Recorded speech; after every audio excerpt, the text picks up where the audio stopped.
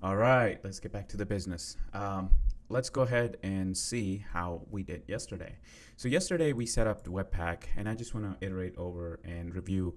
Uh, I'm going to make this as a build, uh, as a watch. So our um, TypeScript is going to be watching this file. So instead of doing yarn run dev, it's a small change, but you have a watch flag on your Webpack, you have progress, and then we're going to read from this as um, it's not going to be a deg, it's going to be config. So now if we run yarn run watch, I have a shortcut yarn run w yrw and our code is built successfully. So with that, let's go ahead and get started with today's video.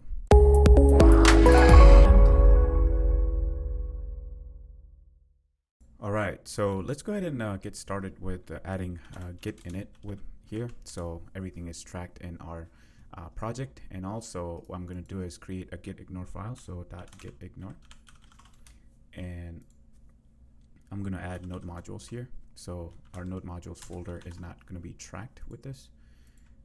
And looking at that, now you see it's a dark gray now. Next thing, what we're going to do is we're going to move our manifest.json file because we installed Webpack. Now we just want to move manifest.json file into our SRC folder. That way everything is tracked by Webpack and not um, uh, not just in the main folder. So if I do this, uh, it's going to break because we don't uh, Webpack, uh, Webpack is not uh, transpiling that code for manifest.json into our dist folder. So with that, let's work on that. All right, so as we broke our uh, extension, uh, we're gonna use a plugin in our Webpack file, which is gonna be uh, copy Webpack plugin. And I just searched on Google. It says copy Webpack plugin. I think it's the second link and you come here and install this. So what this is going to do is going to let us install Webpack plugin uh, that's just going to copy our file towards that folder. So we can just copy our manifest.json file into this folder. So what I'm going to do is come back here and clear this out real quick and then install yarn uh, add d uh, dash d copy webpack plugin. I'm going to hit enter and now we have that plugin. All right, so now that we have installed our plugin, let's go ahead and bring it in. So I'm just gonna copy and paste it here. And it's gonna be const plugin require plugin. And you can see in the docs uh, where I brought this from. All right, so next I'm just gonna copy this blob from here, which is the new uh, copy plugin. Actually, let's go ahead and copy from here. And I'm gonna go ahead and paste it and explain how this works. So if I come back in here, I can say plugins and then open array. And this takes uh, new copy plugin, which I'm just going to paste it here. So now that you have, actually that's a duplicate, and then I think we need a closing one here too. All right, so now let me explain how this is this is going to work. So new copy plugin has a, a, pattern value, and here it takes a object uh, from source and the destination. So I'm going to delete this because we have two, and here we're going to resolve this file, which is our manifest.json file, and then copy it to the destin uh, destination folder, which is uh, what we're going to use. But one thing we need uh, to do this would be a path. So let me import path. So const path is equal to required path. And now we have this. We can use this um, in our directory. So I can say path.resolve. And then this is going to take in our source directory. So I can say src slash manifest.json JSON file. And then it's going to go ahead and paste it. I'm going to put this on a new line maybe. That would make a difference. So you can see it.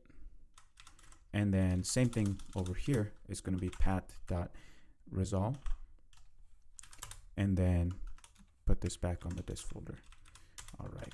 So now we have this uh, uh, working. Let's go ahead and uh, try to run our script again. So yarn run watch. And now we are seeing the error. Let's see what exactly it says it says on line 24 we have some problem here which is correct. Uh, I think we forgot to close. Yeah there you go. And now we can go ahead and run yarn run watch. And now if you can see our manifest.json file is connected. So let me pull over uh, our extension here and I'm going to refresh all uh, it's not going to work so I'm going to remove this and then I'm going to try to re-add it again. So if I come back here this folder and now uh, it's it's going to locate the icon.png which is what we need to do uh, next is just copy that uh, icon.png either we can just copy it to the uh, to the this folder for now uh, for it to work or we can do this manually but using the same thing. So let's work uh, so for now I'm just gonna leave it that way and we're gonna write that another pattern for the same thing. So let's go ahead and do that. I'm gonna copy and paste this here. So I'm gonna use this as assets. So I'm gonna use that assets and here I can say icon.png and now run this again. So if I go ahead and cancel this out run it again. And I know it's not going to find it because I just moved uh, let me move this here. And now let's run it one more time. Now it says unable to locate assets. Correct. So let's do assets. And icon there you go so now it uh, compiled successfully. And if we refresh, everything's working. We're back up to uh, that again. So what I'm going to do is uh, do same thing. Instead of um, the, uh, keeping it here, I'm going to move my manifest.json file to assets um, also so that um, it's in one place only. So we don't have to uh, look into another folder. So here manifest.json file will move be moved there. And now you can see it should go ahead and work the correct way so yeah, so now it's compiled successfully and refresh, refresh. And our dist folder has icon uh, and our manifest.json file and our React files. So next we're going to learn about uh, Chrome.action as uh, API for Chrome actually supports Chrome.action with the default pop-up, uh, which I showed you in my uh, earlier video that you can create pop-ups like these uh, to show the user experience and some of the main things that your um, extension does. It requires a pop-up.html file because we're working with um, HTML uh, files here. web, it's really hard for React to write the HTML file. But here's where we're going to use um, HTML Webpack plugin, which I pulled it over. So if you go ahead and Google this, it's HTML plugin Webpack, and it's the first link. And what it does is basically it transpiles your uh, code, your JavaScript code, into HTML uh, Webpack uh, into a HTML file. So let's go ahead and look at that. All right, so what I did behind the scene is just added the action method uh, with the click me and popup.html. Now let's go ahead and install um, our uh, module. So let me close this one. I think I have two of them running. Uh, let's go ahead and get a new window. Uh, I'm going to say yarn add dash d and I'm going to paste that right here. Whoops.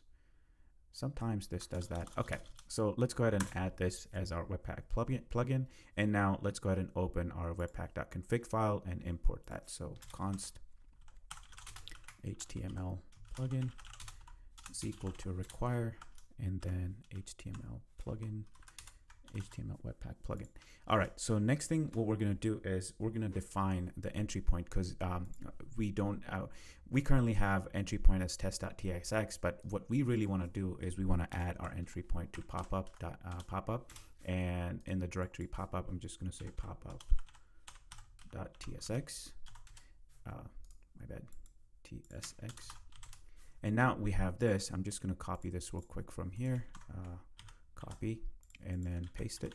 And I'm going to get rid of uh, the test file. So now that we have popup.tsx file, let's go ahead and transpile this into an HTML file. All right, so next, let's go ahead and copy this plugin. So if I come back here, uh, let's go ahead and say new HTML plugin. And this takes an object. And the first thing it requires is the title. And we can say React.js boilerplate. And then next thing it requires is file name, which is exactly the same file name uh, we uh, put in our manifest.json file. So if I come back here, uh, it's popup.html. So popup.html. Uh, and next, let, let, me just put a comma here. I think I'm missing comma. And let's go ahead and see if this works. So run run watch. And it failed because it's asking, let's see what the error is. Field browser doesn't contain valid aliases, resolve pat uh, test TSX. That is correct because we don't have TS uh, that anymore. So now uh, we're, we're gonna have to change our entry point. Uh, this is where uh, I'm gonna use uh, an object. So let's go ahead and do that. And then first we're gonna add pop-up as our first one. And here's where we're gonna write everything uh, for the pop-up where the entry point is gonna be. So this is gonna be uh, slash src and then pop-up slash pop-up.tsx and this is going to be our entry point so let me close this and do yarn run watch again. Uh, let's see what our next error is. It says module doesn't exist it says it couldn't resolve uh, let's see maybe this might work.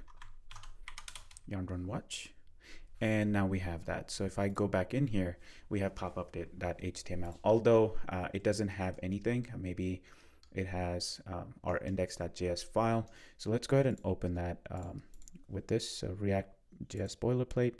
Uh, let's see if there are errors. There are no errors. I'm gonna big screen this for a second uh, which is you see right here it's like a tiny a little window all right, so far we don't have any errors. Everything is working, our popup.html.